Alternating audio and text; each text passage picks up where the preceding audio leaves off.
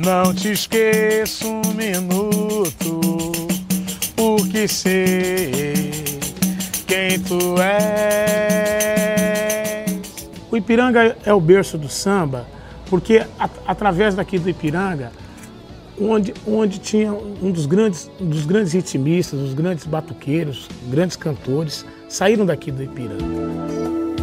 Samba do mestre Oscarzinho, carnavalesco que colocou o Ipiranga na passarela em desfiles de muita cor e alegorias. Aqui no Ipiranga tinha a Academia de Samba do Ipiranga, que era escola tradicional também, que era a Academia de Samba do Ipiranga do mestre Oscarzinho. Então, Oscarzinho uma pessoa maravilhosa, né? uma pessoa que, que realmente representava a nossa comunidade aqui do Ipiranga. Sempre representou, uma pessoa muito honesta, muito direito. Ele trouxe o carnaval de, naquela época, era da, da, da, da do Bambara do Campos Elísio, tinha o Acadêmico de Vila Paulista, é, embaixador do, dos Campos Elísio e Vila Virgínia, mas no Ipiranga não tinha. Ele trouxe o carnaval para um local que, na realidade, é um, é um bairro mais, mais, mais mais puro da, do, dos italianos, aquelas coisas. Ninguém falava em samba lá e ele trouxe lá e conseguiu formar uma boa escola de samba lá no Ipiranga. Quando, quando eu entro na avenida para desfilar, eu sinto uma emoção muito grande por, por ter e saber que leva o nome de Oscar Cardoso da Silva, a passarela. Então eu fico muito feliz e que eu não tenho como expressar a minha felicidade que eu tenho, que eu sinto. Bom, quando eu vejo a passarela com o nome do meu avô, tudo homenageado a ele, eu me sinto orgulhoso, né? Eu acho que quem não gostaria da, da pessoa da família ser homenageada, ainda mais o avô, que é sempre, sempre, todos os anos, todo mundo nunca esquece dele. Todo lugar que a gente vai, passa, todo mundo lembra dele. Eu me sinto orgulhoso por ele. Ele dizia sempre assim, meu bem, o carnaval para mim é a coisa mais gratificante que eu tenho dentro de mim. Se um dia essa escola minha morrer, eu morro junto. Nossa, ele morria por causa de samba. Para ele, carnaval era, era, era carnaval aqui e Deus no céu, sabe? Depois vinha o resto. Mas o Ipiranga não é só o bairro berço da imigração italiana em Ribeirão Preto e Casa do Samba.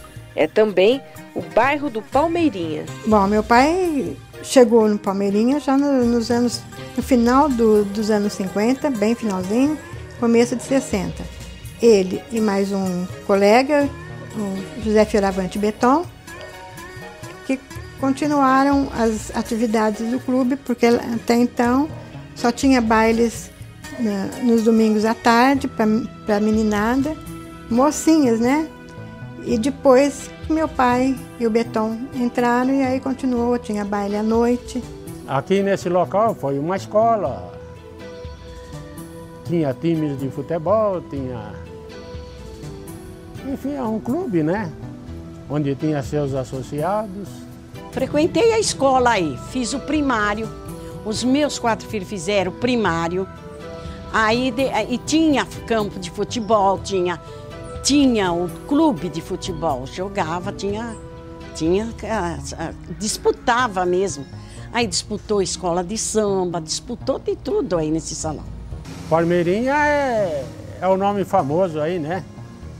Qualquer lugar de Ribeirão, se eu perguntar onde que é o Palmeirinha, qualquer um sabe. Quando jogava o Palmeirinha e o Ipiranga, Aí era pega para capar mesmo, saía briga, saía tudo. O bairro Ipiranga transita entre o moderno e o tradicional, mantendo entre seus moradores filhos de quatro gerações, personagens de muitas histórias. Ah, é, eu, sou, eu gosto daqui, moro aqui já há uns 50 anos e eu gosto aqui da cidade, do bairro de Ipiranga. Fico muito feliz por ser desse bairro maravilhoso. Aqui eu aprendi a respeitar o próximo, os amigos, né, os mais velhos, os idosos, as crianças.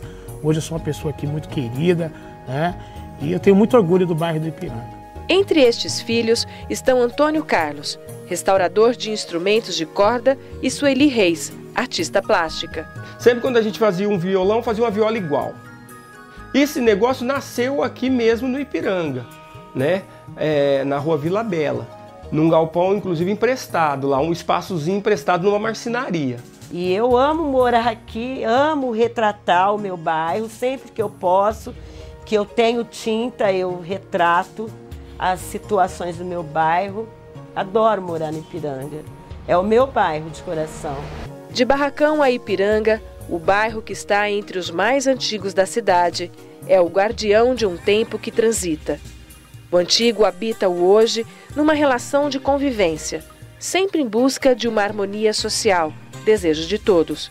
O presente adorna o passado numa dança que embala as lembranças e projeta perspectivas. É a tradição mantendo-se atual, mesmo que somente na memória. Eu amo aqui, eu não troco meu bairro por nenhum outro. Eu amo Ipiranga. De coração. A minha arte exposta na minha parede lá fora conta um pouco do Ipiranga do passado, né? A gente relembrando estações de trem, é, os antigos mercadinhos, linha do trem e campinhos de futebol, que na época é, tinha muito por aqui, hoje tem bem menos, já que todos os campinhos, é, quase todos eles eram terrenos particulares, que agora né, os donos tomaram posse. Você sabe o que acontece? Aquilo me emociona muito, porque era a vida do meu pai. Então, depois que meu pai morreu, eu... é difícil para mim lá. Nós trabalhamos muito ali. Sabe aquela parte da frente, assim, do clube? Tem um mezanino lindo lá em cima. Fomos nós que construímos. De Barracão para Ipiranga e a história continua, mas em outra oportunidade.